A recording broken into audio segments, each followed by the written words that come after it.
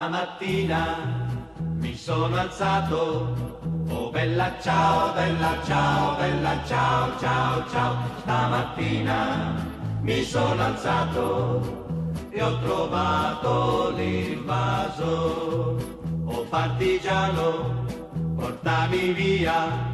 Oh bella ciao, bella ciao, bella ciao, ciao, ciao. Partigiano, portami via che mi sento di morire.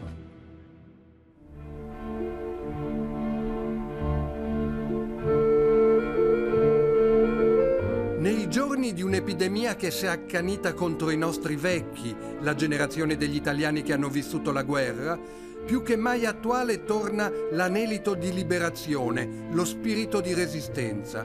Anche per questo sentiamo il bisogno di ascoltarli. Guardate i loro volti.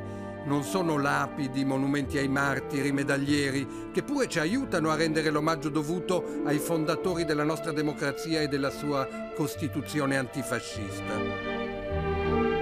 Sono più di 400 anziani che siamo andati ad incontrare negli alloggi popolari, nelle case di riposo, più di rado in appartamenti borghesi, insieme all'AMPI, Associazione Nazionale Partigiani d'Italia. Sì, sono proprio loro, le partigiane e i partigiani d'Italia. Giovanissimi si ritrovarono nel mezzo di una guerra terribile che li chiamava a compiere la scelta più difficile, ribellarsi all'occupazione straniera, al lavoro forzato, alle persecuzioni razziali. Ancora oggi testimoni scomodi, talvolta perfino insultati e derisi da chi sostiene che in fondo Mussolini non era poi così male e che il fascismo apparterebbe solo al passato. Una presenza che disturba la loro? Ma proprio per questo una memoria preziosa, che non a caso qualcuno torna a sfregiare con le svastiche. Ci lanciano un avvertimento e raccontandoci la loro scelta, forse ci danno anche un esempio da seguire. Io mi chiamo Tosca Giordani. Mi chiamo Bugni Ermenegildo. Carlo Orlandini. Sono nata a Pederzano il 27 del 7 1922. Sono nato all'Aquila il 2 novembre del 1927. Sono nato a Trento nel 1927. Nome di, di battaglia non ce l'ho, io, io sono, sono sempre stata Tosca. Il mio nome di battaglia da partigiano era Arno. Il nome di battaglia era Bingo.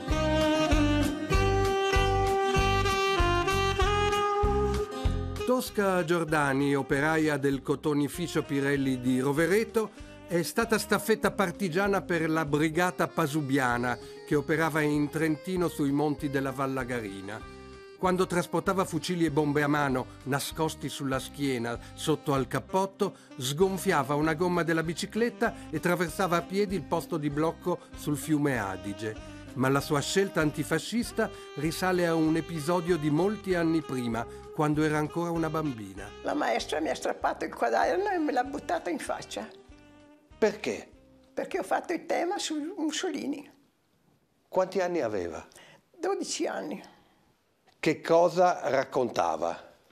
Allora, il tema su Mussolini raccontava che il nonno aveva il, il biroccio, diciamo, il biroccio loro lo chiamavano. Il calesse. Il calesse aveva questo biroccio, ha conosciuto Mussolini durante un comizio in Piazza di Nomi. Quando era ancora socialista? Quando era ancora socialista, prima eh, dell'Ottocento, dell'890 e rotti, diciamo, no?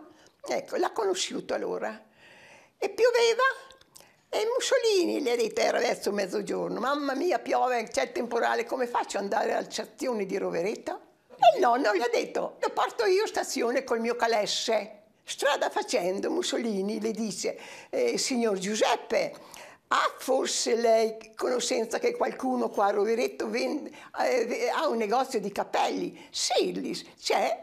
Allora l'ha portato eh, in via San Marco davanti a questo negozio, Mussolini è entrato, misura uno, misura l'altro, misura quell'altro, sì che è uscito. E il nonno le fa, ma non l'ha comprato il cappello, ci vuole troppo soldi, ma non ne ho. Ha forse qualche soldo da imprestarmi.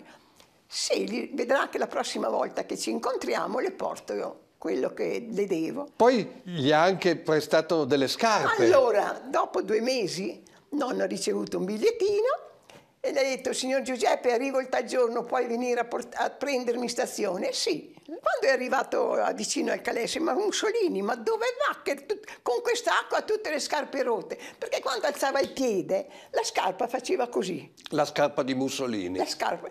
La suola si staccava dalla tomaia sembrava una bocca. E il nonno... Gli... Il nonno gliel'ha detto questo. Eh, lo so che ho le scarpe rotte lì. C'è un negozio qua lì da comprare un paio di scarpe. Sì, ma hai dietro i soldi? No, le domando se me li impresta anche questa volta. Allora senti lì, vieni a casa mia, che scarpe vecchie ne ho, ma sono buone lì. Se ce n'è un paio che ti va bene, te li regalo. Quindi Mussolini ha avuto il cappello e le scarpe da Grazie, suo nonno. Dal nonno. Quei soldi non li ha mai più visti il nonno. Sono che ti aspetto dalla Mussolini se la mi manda quegli interessi.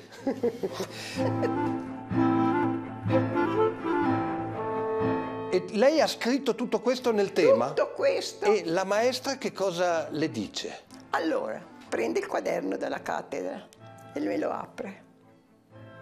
Chi ti ha detto di scrivere queste cose? Nessuno, le ho scritte io. Come? Sì, perché queste sono cose vere, raccontate da mio nonno. E la maestra? E queste cose non si devono.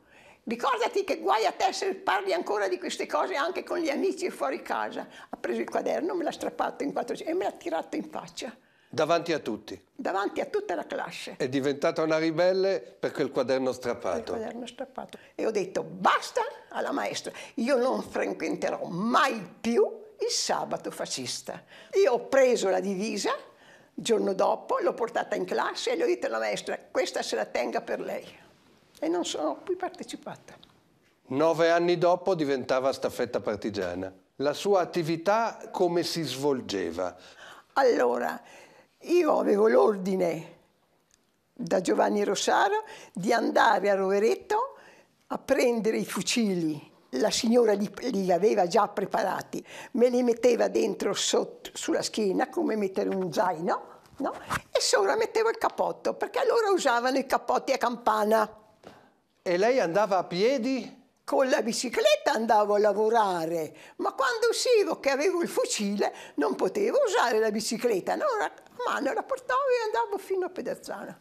Portava anche messaggi? No, messaggi no, qualche bomba nella borsa. Giovanni quando mi vedeva mi dava la borsa già carica di merce da mangiare e mi diceva stai attenta a non aver paura, ma sotto c'è qualcosa che scotta. Possiamo dire che senza queste giovani donne che facevano le staffette non ci sarebbe stata la resistenza. No.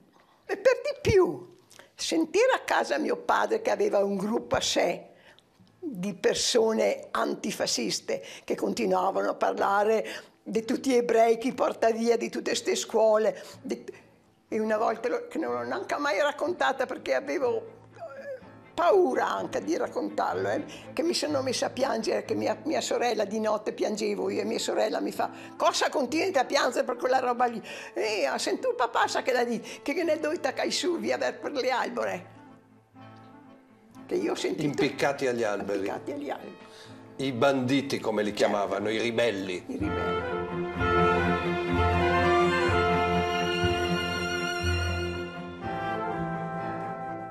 Ermenegildo Bugni, all'età di 16 anni, era già vicecomandante della divisione Modena, Brigata Garibaldi, che sotto la guida della medaglia d'oro Mario Ricci, Armando, ha combattuto sull'Appennino modenese liberando un vasto territorio divenuto noto come la Repubblica di Montefiorino e ha partecipato alla liberazione di Bologna.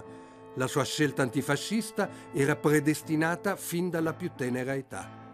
Mio padre è morto assassinato per un delitto d'opinione, cioè lui aveva pronunciato in modo aperto la sua condanna all'aggressione all'Abissinia, all'Africa orientale.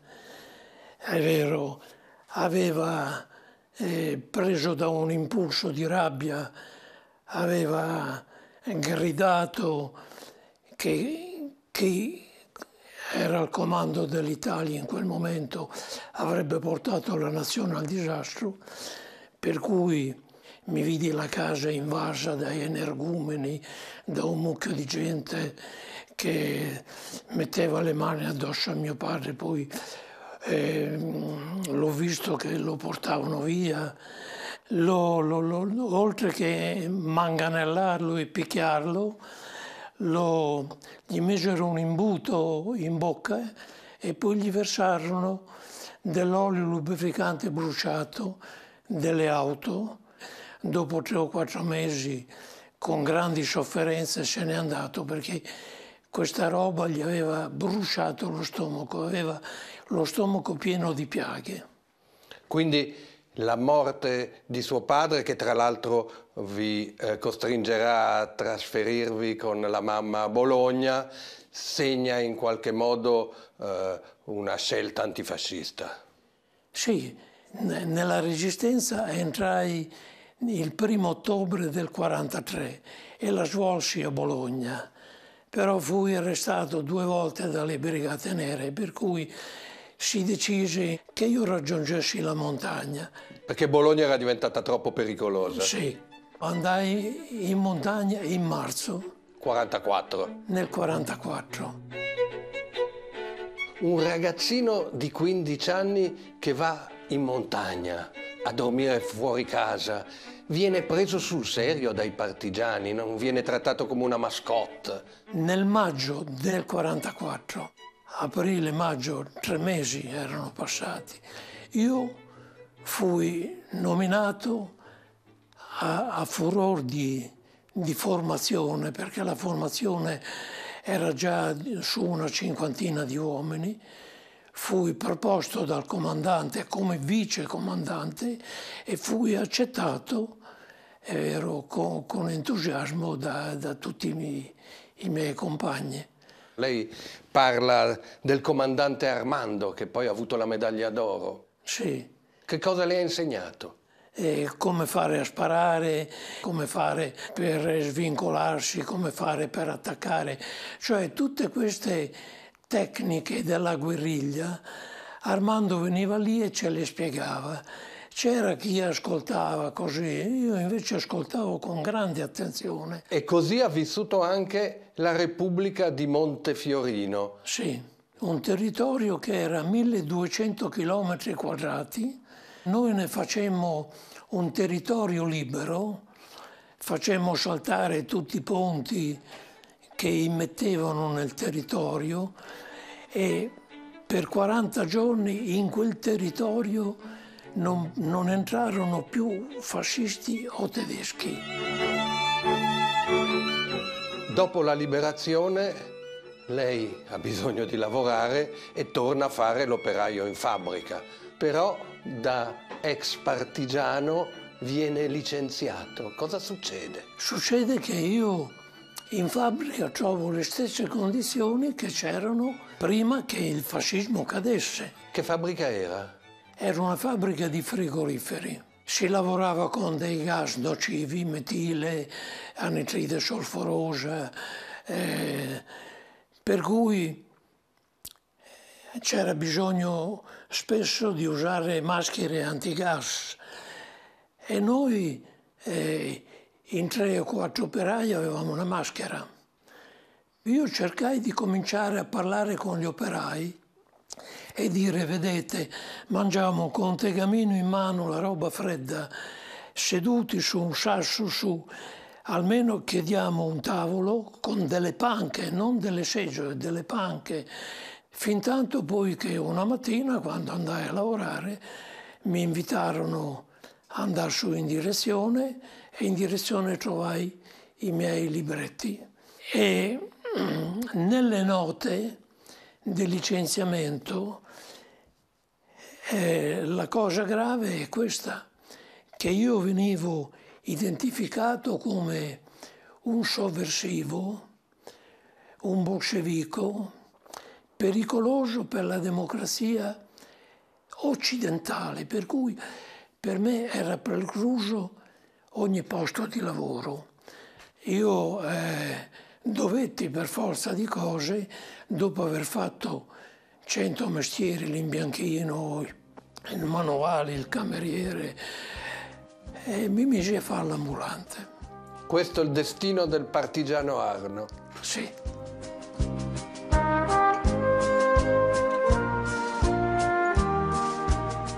Carlo Orlandini all'età di 16 anni lasciò Verona, varcò la linea gotica e fu arruolato nella SAS, Special Air Service, come ufficiale di collegamento fra i partigiani e le forze regolari dell'esercito inglese. Per ben sei volte attraversò il fronte di guerra, per poi unirsi alla brigata Pasubio. Ha rifiutato una medaglia d'argento al valor militare, sostenendo che aveva fatto solo il suo dovere. Ricorda ancora il momento preciso in cui riconobbe chi era il nemico da combattere. Era l'estate del 1943 e mi trovavo a Bardolino sul lago di Garda ad un campeggio della, organizzato dalla GIL, la Gioventù Italiana del Littorio. Eravamo un centinaio di ragazzi c'era stato il 25 luglio e tutto era crollato il 25 luglio, a cominciare dalla fuga del comandante. Era giunta cioè la notizia che era stato deposto da capo del governo Mussolini, Mussolini. e il vostro comandante fugge dal campeggio. Certamente, subito. Beh, la prima cosa che ho visto tanti comandanti fare era scappare e mettersi in salvo. Tutti i ragazzi tornano a casa, siamo rimasti una decina e lì con tutto questo materiale e quindi abbiamo cominciato a smontare il campeggio per cedere il materiale all'esercito, da cui in realtà proveniva. Una mattina arrivano dei tedeschi e si, si guardano attorno, un gruppetto lì in macchina, e, e, poi ci chiedono se potevano sistemarsi lì. E mi ha detto per Bacco accomodatevi. E erano SS della divisione Hermann Göring, appena entrata in Italia e quindi abbiamo cominciato a vivere assieme come è fisicamente naturale in circostanze di questo genere. Nasce una conversazione con questi non SS. Solo, non solo una conversazione, ma facevamo il bagno assieme, andavamo a pesca, ci avevano invitato ad andare a pesca con loro, una sera che eravamo a cena assieme, aiutati da Bardolino, quindi dal vino Bardolino, Uh, quindi atmosfera di cordialità, di amicizia, cameratismo diciamo. Uh, si parla di guerra, si parla di donne, poi si arriva a parlare di religione, no? questo è qua, al terzo bicchiere dopo il terzo. E quindi chiedo a quello che era il mio interlocutore, gli dico io sono cattolico, tu cosa sei? Dice niente, sono ateo. Ma guarda, dico che che cosa strana, eh, non, non, ho mai incontrato un ateo in vita mia. Eh, no, dice, ma noi tutti lo siamo. Come noi tutti lo siamo? Che discorso è? Ed era venuto fuori le affermazioni de, della propaganda di allora, soprattutto tedesca, la superiorità della razza, robe di questo genere. E allora a un certo punto chiedo, ma da dove venite esattamente? Dice, veniamo da Varsavia dove abbiamo appena bruciato il ghetto di Varsavia. Come bruciato il ghetto di Varsavia? Sì, sì, abbiamo attaccato fuoco. E poi quando gli ebrei si buttavano giù dalla finestra facevamo tiro al bersaglio e lì ti, tiravamo giù. Questa scena di, di, del ghetto in fiamme, della gente che si butta fuori, mi ha sconvolto e non sono riuscito a dormire. Allora era mm, l'ora del caffè, l'ho preso in disparte. Lo stesso SS? Lo stesso SS che aveva fatto il racconto e gli ho detto ma senti, dico, ieri sera tu ci hai raccontato questo e questo.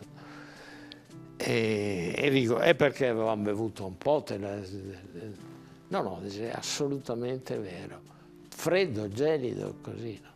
E quindi in quel momento mi sono sentito proprio salire dal, dal, dal, dalle viscere, diciamo, la, la, ribellione fisica, insomma, dire ma che cosa è, dove siamo, ma è un uomo questo, una, una ribellione totale. Ecco, questo.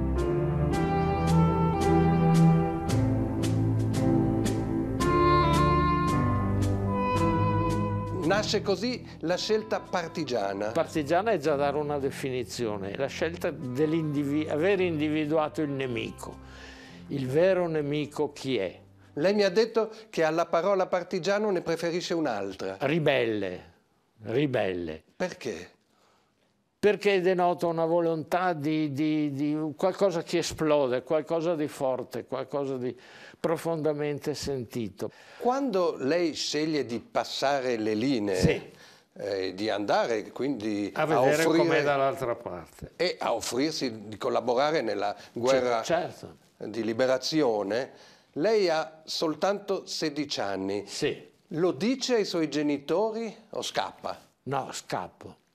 Eh, mio padre è morto che io avevo sei anni. Ho lasciato una lettera a mia mamma, è stato uno dei grandi dolori della mia vita e, e quindi ogni sera quando marciavo, eccetera, mi ritiravo per la notte, eccetera, pensavo a quello che era il suo dolore e il mio, eccetera. Ma ho continuato perché in quel momento mi pareva più importante fare qualche cosa per, eh, appunto, per combattere. E dopo, quando è tornato sua mamma, cosa le ha detto?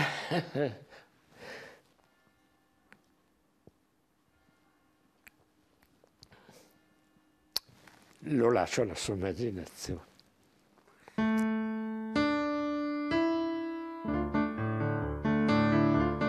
Ciascuno una storia diversa, migliaia di motivazioni nel giorno della medesima scelta partigiana, difficile e rischiosa abbiamo provato a chiedergli se in seguito abbiano avuto ripensamenti. No, no, no, sono sempre stato fierissimo di quel poco che ho fatto perché mi pareva doveroso eh, per chi ama la libertà combattere per questo non è un regalo la libertà. Io ho capito subito che era un fatto storico importante e che sarebbe stato una grande cosa, subito. No, no, se, se ho qualche rimorso è perché non ho fatto di più.